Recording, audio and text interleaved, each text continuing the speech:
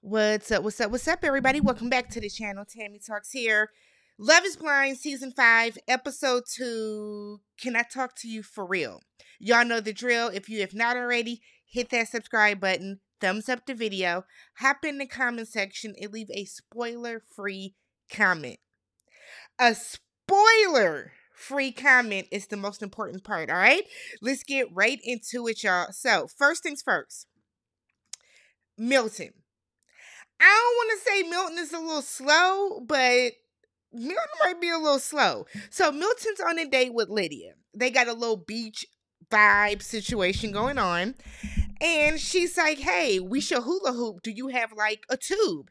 He looks dead at the tube and it's like, nope, no tube. I said, Lord, okay. And I was like, maybe he just don't want to do it. So then she's like, Did you open up the. She, at first, she called it a mini fridge. Then she was like, The mini cooler. He's looking around. You got a cooler? I don't hear no cooler. I said, Come on, Jesus. What is going on, Milton?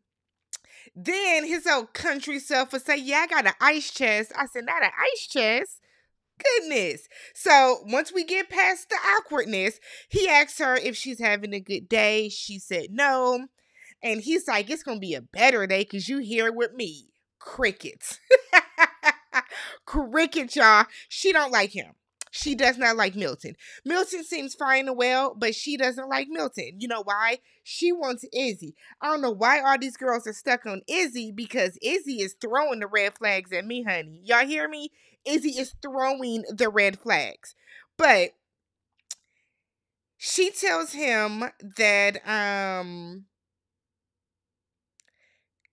she have well she tells in the confessional that you know Izzy broke up with her and didn't give her a reason why and all this other stuff. And it's like, sis, you were not vibing, vibing, vibing with Izzy the way that you thought you were.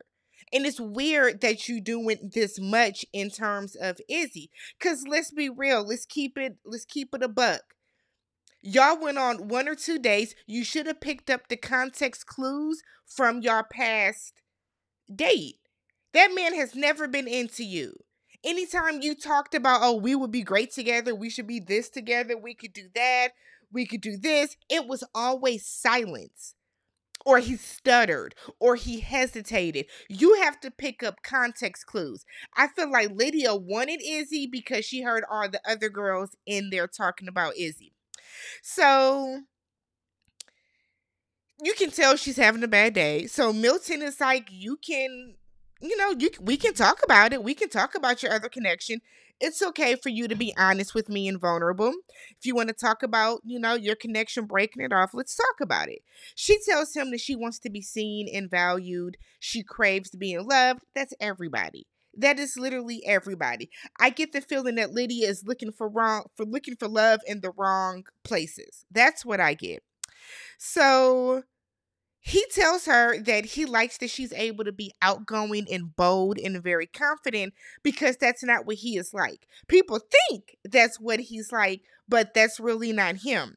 So he's like excited, or I don't want to say like envious, but he admires that she is able to to be that way. So he said that he went to school in Japan and he felt stupid because he was making bad grades. He wasn't doing good um over there. When he moved back to the States, his grades improved. He started to do a thousand percent better. Um, he started to feel more confident and stuff like that. But he's just not the confident, bold person that a lot of people think that he is. I can tell because Milton gives awkward and not in a like a horrific way. Milton looks like he lacks the confidence within himself. It's like you ever hear like the saying or that a person no matter if if you you it doesn't matter if a person is lying about something if they're speaking confidently about it, right? You ever heard a person, you know they are lying through their teeth, but they're they're so charismatic and they're so confident and they're standing in it that it makes you question like, damn, did did that happen? Milton doesn't give that. So she then tells him that she wishes that she didn't know how old he is. And I'm just like, girl, if you're to be hung up on his age, leave that man alone leave him alone. So, because he can't do nothing about it. And why would you not want to know his age? That's an important thing to know, especially if you're a person that's hung up on age. I am 38. I will be 39 in a couple of days.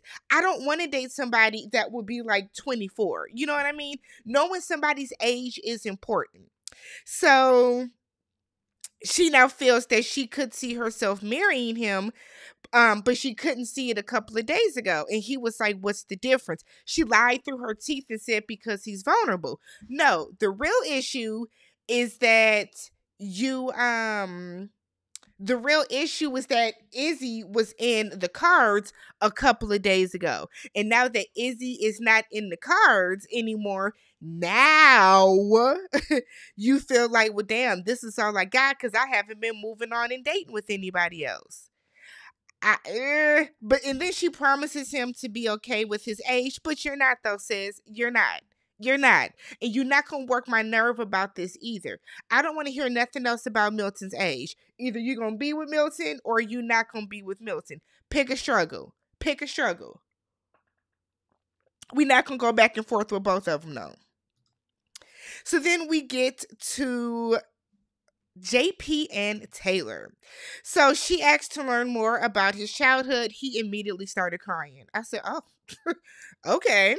So he's visibly emotional. He said that growing up, his mom was a very angry person. And while his mother did not take it out on him, she took it out on his sisters. So she would get upset. She would get um she would get angry and she would go in their room, wake them up, yelling, screaming, trash their room, and then she would go to work.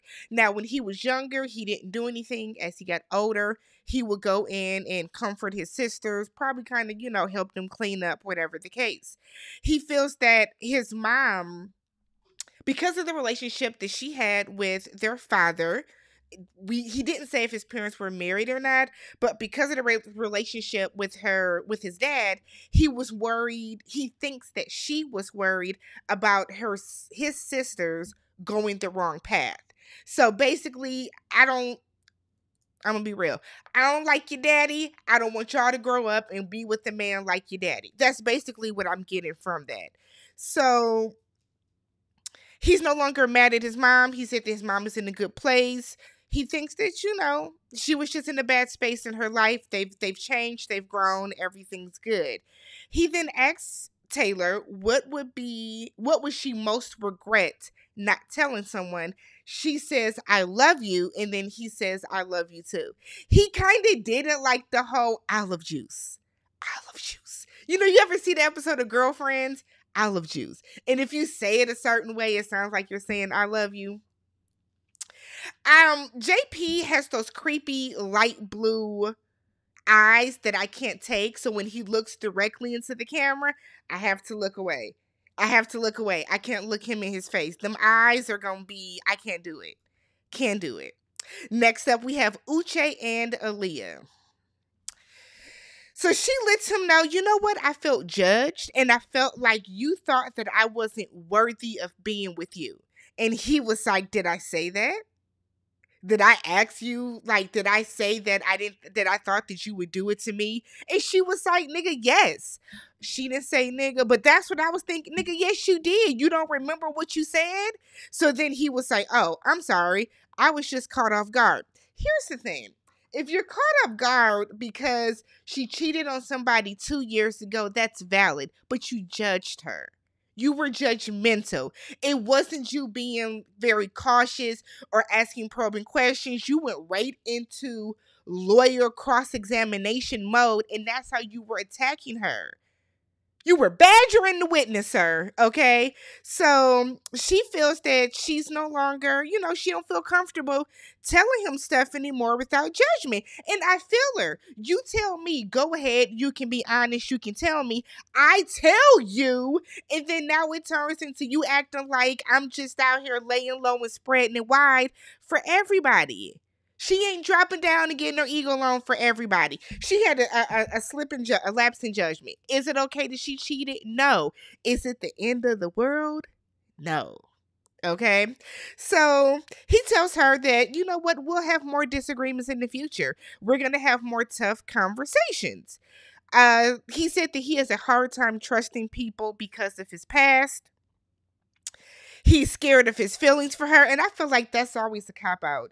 I feel like we hear people say that all the time on these shows, whether it's Married at First Sight, uh, whether it's the ultimatum, whether it's love is blind. I'm just so scared of my feelings for you. And that's why I called you a little trifling ass hoe ass bitch. And it's like, did it take all that though?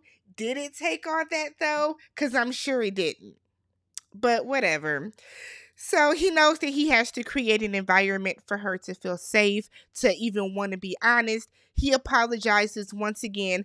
I'm sorry, but his apologies did not seem sincere to me. His apologies seemed very, let me go on and say I'm sorry so we can move past it. They didn't seem sincere. They were very dry. They were very matter of fact. They were very monotone. He tells her that as long as she is willing to be honest, he is willing to accept her and doesn't want to lose her. Girl, Aaliyah, I don't know. I don't know. So we get to Izzy and Stacy. So he said he's been thinking about her naked since the second day. She finds that endearing. Hmm. He doesn't like that, or excuse me, he doesn't think he likes her because he doesn't have to think of, um about he doesn't have to think and worry about different things with her that he does with other women. So he talked about financial stability, you know, mental capacity, emotional stability, stuff like that. But he said that he's not as deep with her as he is with the other women because she's not as vulnerable. She he was like, We really just out here enjoying the ride. She said, Don't that sound like more fun? She then gets into her boss bitch. I don't care how these other heifers think about you. Now I mean, I ain't worried about these other girls. And it's like, sis, you doing a lot. I, I just feel like, look, yes, you should be confident that you are playing in your position right. So I don't fault you for that, Stacy. But I also kind of feel like Stacy. I also kind of feel like Stacy wants to come across as if she doesn't care. She's coming across too nonchalant. You're being very apathetic about the situation. No part of this conversation did she assure him, you know what, I can work on being vulnerable. It takes time for me to be vulnerable. She didn't do any of that. I thought that was interesting because he didn't press her on it either. She feels that she doesn't want to be with somebody she cannot have fun with. And I am tired and sick and tired and tired and sick of people coming onto these shows and feeling like I just want to have fun with somebody. Carry your ass down to the Coyote Ugly Bar where you can find somebody that is just there for a good time, not a long time. You are coming onto this show to be married. Yes, wanting to have fun should be a part of that. You don't want to be in a relationship that's very uptight or drab or whatever, but fun should not be first and foremost because y'all are here to be married. I don't know if I like Stacy. I don't know if I like Stacy. I don't dislike Stacy, but I don't know if I all the way like her either. You know what I mean? So we get to Johnny and no, yeah, Johnny and Chris. So they're talking, and Chris is imagining her hanging out with the family, and they play celebrity, and we just sit and we laugh at the people because some of them are bogus and they're not good at it. I picture you sitting right here with us laughing. Johnny's yucking it up, right? Tells her he tells her he's in love with her and he sees himself marrying her. She says, I'm picturing the future with us as well. I am. But then we see her walking into the room with Izzy and she's telling Izzy, but you, uh, or she's saying in her confessional, but I have such a crush on Izzy. Oh my gosh. So we find out Izzy is Jehovah Witness. Because of that, if you guys know anything about that religion, they don't celebrate holidays, they don't celebrate birthdays. So he talks about as a kid not being able to celebrate any of that stuff um, if there was like a holiday party at school, he either had to go home early or he had to just sit in the classroom by himself and watch a movie. So he tells a story about how he there was a bunch of kids on his on his block and it was around Easter and they were like, "Boom, we having an Easter egg hunt. Fall through." So he's like, it was great. I got this sack. We're picking up the eggs. We've all done, I won't say we all, most of us have done Easter egg hunts. When you're a kid, that shit cracks, right? So he said he's out there having the time of his life, and his father comes, yanks him. Absolutely not, sir. You know what it is. So he's frustrated, goes to his cousin's house, and he's ranting and raving and venting to his cousin for his cousin to be like, that ain't even your real dad. I was like, wait, what? what? How old were you if you're having an Easter egg hunt? You got, I feel like you better be 12 and under. But so why does your cousin know and you don't? Was the cousin older? I need a lot more backstory. So now Izzy kind of felt, I mean, that would break me to pieces too if I found out that my parents ain't my parents. You know what I mean? So after finding that out, um, Izzy said that he just doesn't know which way to turn. He didn't know what to do. He doesn't feel like he has anybody that really has his back. So that's why he like wants to marry somebody so he can well not just for this, but he's excited to marry somebody to join into their family traditions. Uh, he says that he left the religion, got his first Christmas tree in 2018. He said, I left that thing up till April or May. I said, okay, all right, Christmas lights. Um, she tells Izzy, Johnny, that she does have another connection, but it feels more like friendship. I said, does it? Okay. So Izzy is like, I want someone to tell me that they want me. And he's she's like, I'm doing it. He's like, no, tell me, say it. See, what I'm noticing about Izzy is Izzy want all the girls on him. Izzy needs a lot of self validation. Izzy needs a lot of um attention. He needs a lot of compliments. He like he wants to feel wanted and he wants you to want him. He needs to actually hear you say it. And if you don't, it's almost like he's not feeling you. So Johnny is like, nope, it's you. I said, girl, girl, I I don't know. I, I, okay, Johnny. Okay, Johnny. So we get to JP and Taylor. He proposes like he was snotting and crying like he done knew Taylor for all the years of his life. Did y'all see that? That was a very like emotional, heartfelt proposal. I was sitting here like, oh my God. You'd have thought she uh, um obviously accepts. So co- congratulations to them.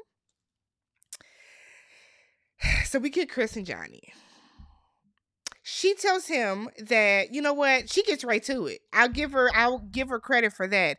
She says I have a stronger connection with someone else. He was devastated devastated. He tells her, You ain't even got to stay in here because he wanted to cry in silence and in peace by himself. And I felt bad for Chris. Um, not because I think Johnny did anything wrong. She's well within her rights to, you know, pick who she feels she has the stronger connection with.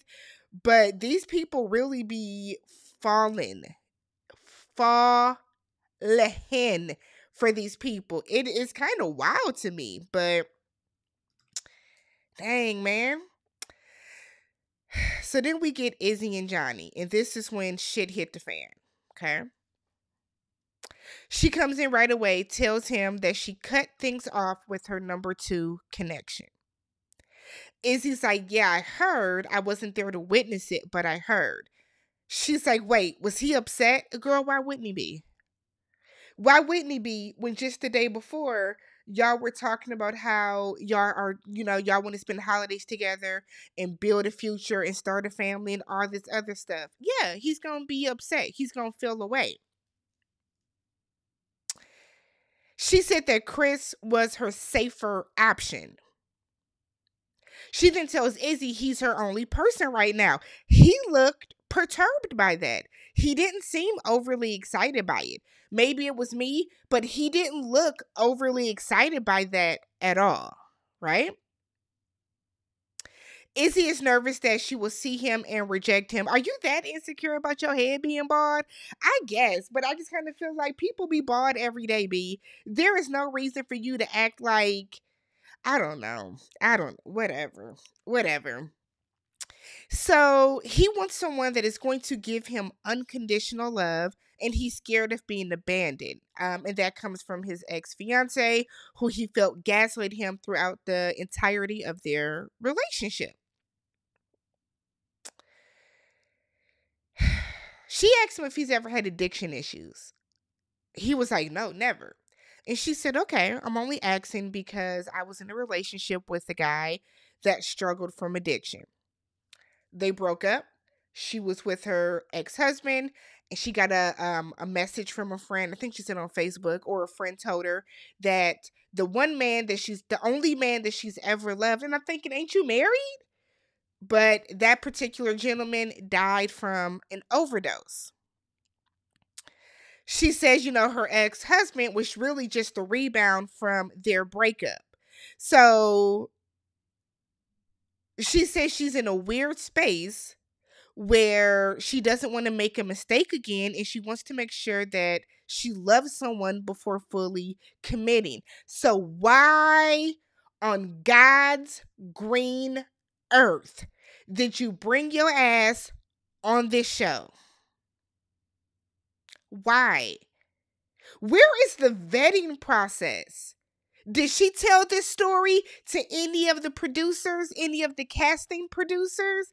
This is crazy. So, and there's nothing wrong with her story, but the fact that you I said this season, these people were not going to raise my pressure up, and I meant that. So, Izzy is looking like he doesn't even want to take a chance on her.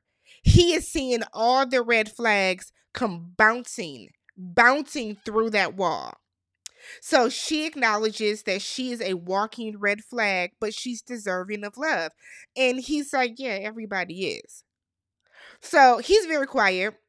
He's like this the entire time, not even looking at her well, he can't see her, but you know, not looking at the uh the blue wall.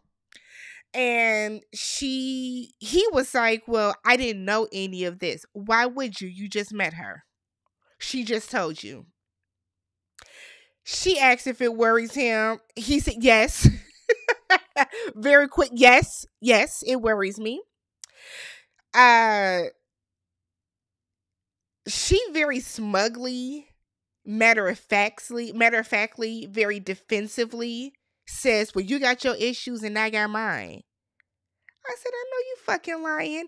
Johnny. Wow. Wow. So he is questioning if anyone can ever fill that role for her. Because what it sounds like is she is still grieving and, and reeling from the death of that ex boyfriend that had the addiction. Doesn't seem like she's quite come to terms with it if you're still kind of looking for that to fill that void. If you're still calling this man from years past the ultimate love of your life, even though you were married or the only man that you have you've ever loved, I, I am questioning things with with Izzy. I'm right with Izzy questioning things. So she she then says that she well let me back up. He's questioning that and he basically she says that someone can. He wants her to kind of prove it. He wants her to prove it. He feels that they should have been having a conversation about this all along. Now this is where i i jump from izzy's boat and i'm, I'm in the middle because now i don't i don't know nor care. But the way Izzy is acting is as if this person passed away within the past six months, and that's why she is like torn. You know, you see what I'm saying? Izzy is like, I don't know. It's a very weird vibe with Izzy. I don't know what it is about him, but something about him is a little off to me. But the fact that she is, um, he is like upset that because like she told you that she that she was married before. She told you that. The only thing that Izzy didn't know is that she dated a person that was that had an addiction issue. Hell, if she didn't have it, what is that? What's it to you? Why would it bother you? I guess maybe y'all y'all let me know down in the comments. So she said that she's not just, you know, fucking around and she doesn't know what else he wants.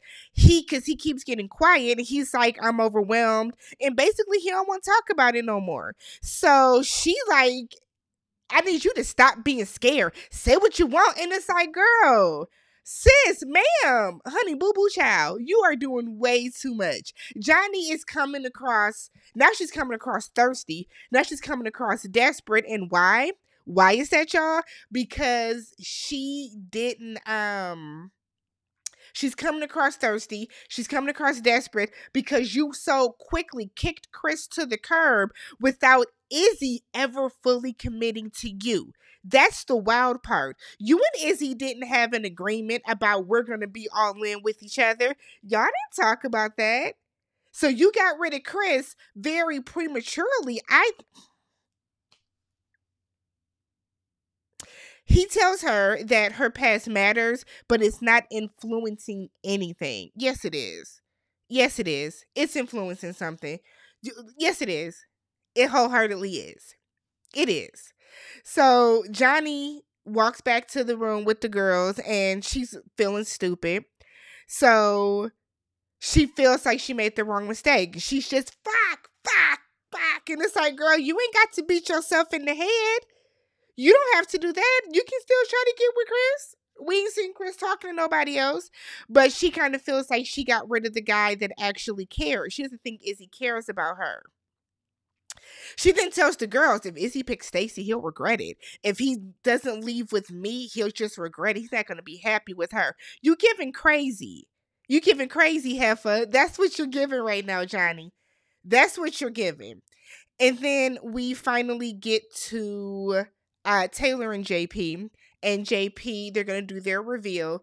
Taylor said that she had a dream that Taylor had a dream that her uh that the guy that JP was going to be blonde, tan skin, and really white teeth. I said not him being 0 for 3. that man is none of that. That man is absolutely totally none of that. What? Let me know what you guys thought about everything in this episode and only this episode, episode two. If you haven't already, don't forget to subscribe to the channel, thumbs up the video, and I will catch you guys in the next one. Peace.